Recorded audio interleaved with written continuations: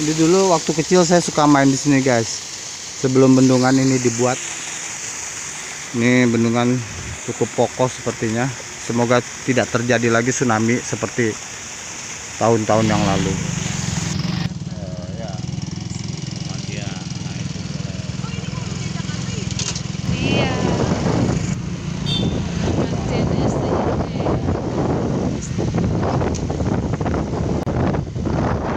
Oke guys, sekarang saya akan menuju ke tempat lokasi pemakaman umum yaitu di daerah Poncol. Nah, ini lokasi tempat kedua orang tua kami beristirahat. Nah, dan kita juga akan membeli apa bunga atau air wangi-wangian itu mungkin sebagai hanya sebagai syarat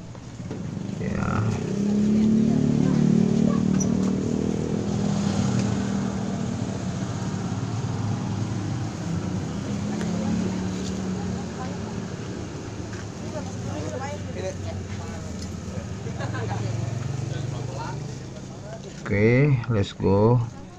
Kita berziarah untuk mendoakan mudah-mudahan segala kesalahan, segala dosa kedua orang tua kami dihapuskan dosa-dosanya dan mendapatkan surgamu, ya Allah. Kamu tahu Dit, kuburan anaknya mana? Mana? Ini. Ini. Ini. Ini Mbah. Udah, iya ini. Mbah dulu. Auzubillahiminasyaitonirrajim. Bismillahirrahmanirrahim. Mana si Jai? Mut, ya, Mut. Kita bacaan Al-Fatihah rame-rame, Mut.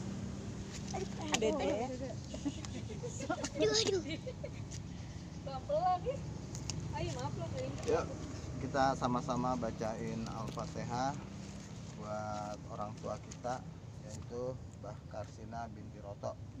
Ya di semasa hidupnya kan kita tahu ya banyak membantu kita juga.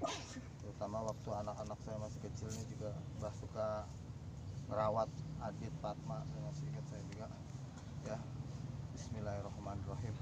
Al-Fatihah Bismillahirrahmanirrahim. Alhamdulillah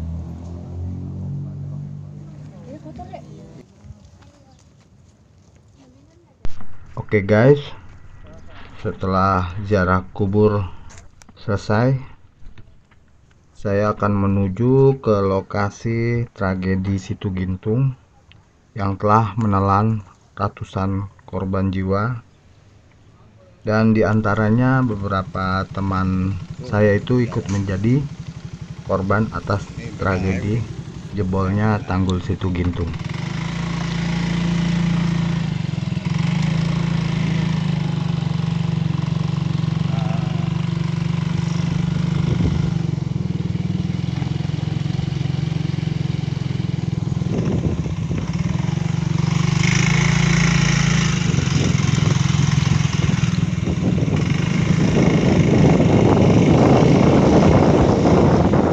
Oke guys, lanjut terus.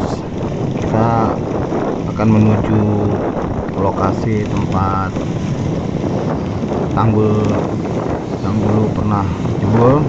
Sambil terus menelusuri kali buatan. Ini untuk mengaliri air dari danau situ Gintung.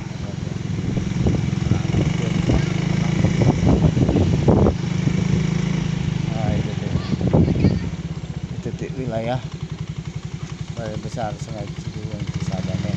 Nah ini situ center kamu bisa ambil. Nah, bentar loh. Coba yang ini situ center. Itu udah situ center. Oh, udah. Iwal, iwal.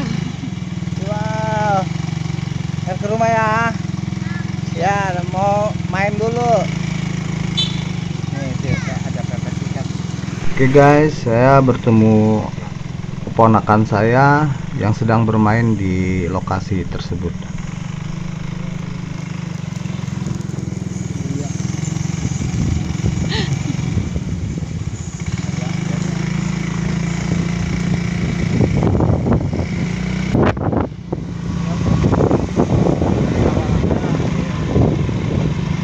Dalam perjalanan saya banyak bertemu dengan teman-teman saya yang dulu masih kecil-kecil guys.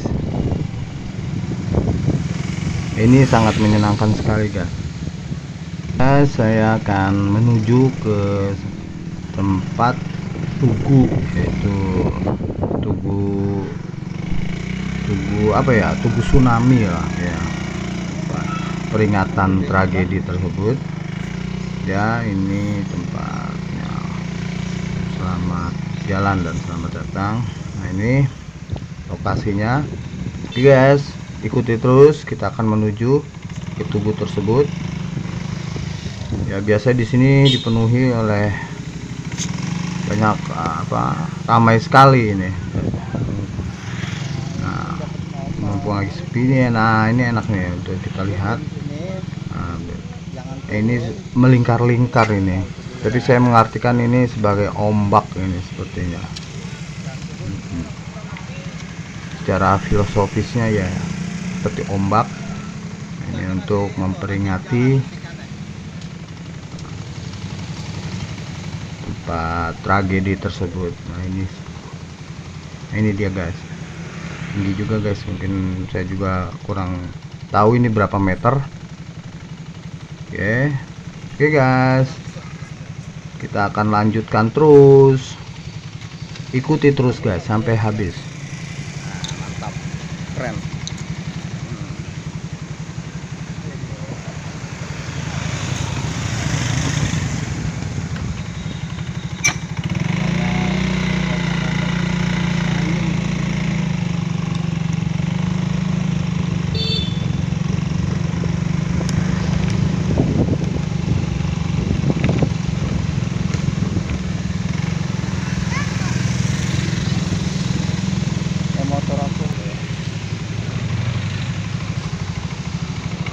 Kita sudah sampai di lokasi tempat di mana tragedi jebolnya tanggul situ Gintung yang telah menelan ratusan korban jiwa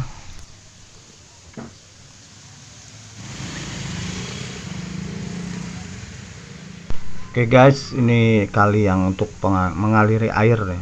Kalau seandainya debit air curah hujan tinggi, ya, ini ngalirnya di sini guys. Nanti saya akan mencoba untuk menaiki tangga di atas sana untuk melihat danau tersebut. Oke, ikuti terus guys.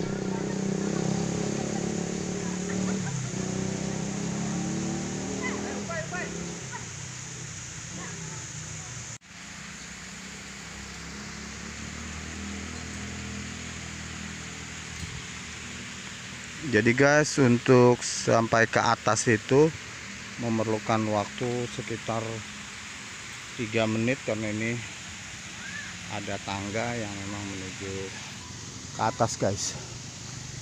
Coba kita uh, mau ikut? Coba kita lihat guys. Luar biasa guys ini cukup lumayan mungkin di sekitar tangga ada sekitar 50 lebih ini guys. Kalau mau main kemari boleh guys. Ini penuh dengan tantangan guys. Tantangan yang sangat luar biasa guys. Kalau yang mau ngitung tangga yang ngitung saja. Kalau saya segen gas ngitung-ngitung ginian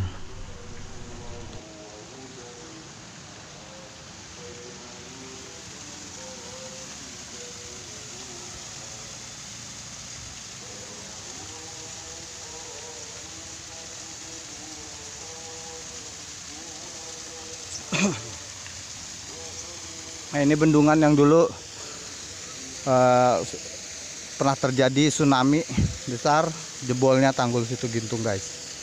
Jebol itu tanggul ini dibuat oleh pemerintahan dari Belanda.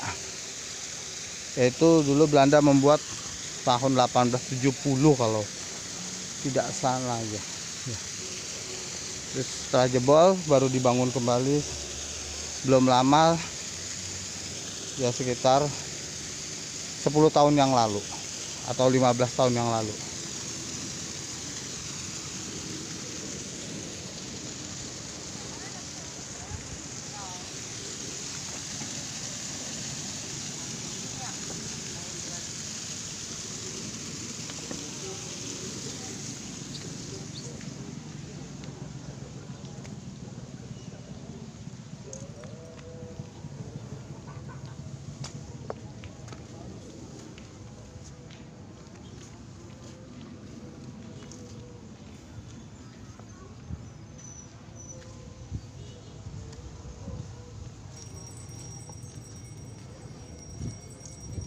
tanggul ini telah dibangun kembali dengan cukup kuat guys. Dengan pengaturan air yang debit-debit air yang cukup detail sehingga seandainya terjadi hujan lebat dan mengakibatkan eh, meluap air itu akan dialiri di eh, tanggul ini guys. Ini memang sudah diprogram oleh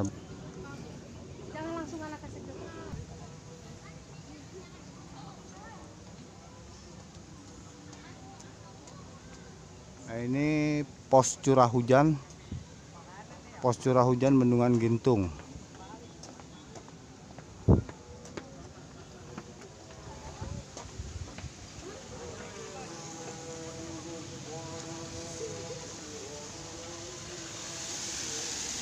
Nah.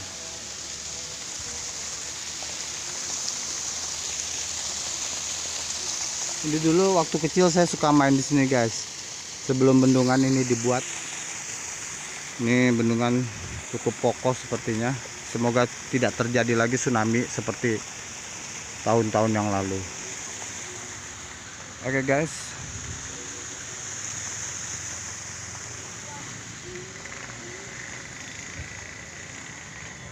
Teringat di masa kecil tempat saya mancing dan mandi di sini guys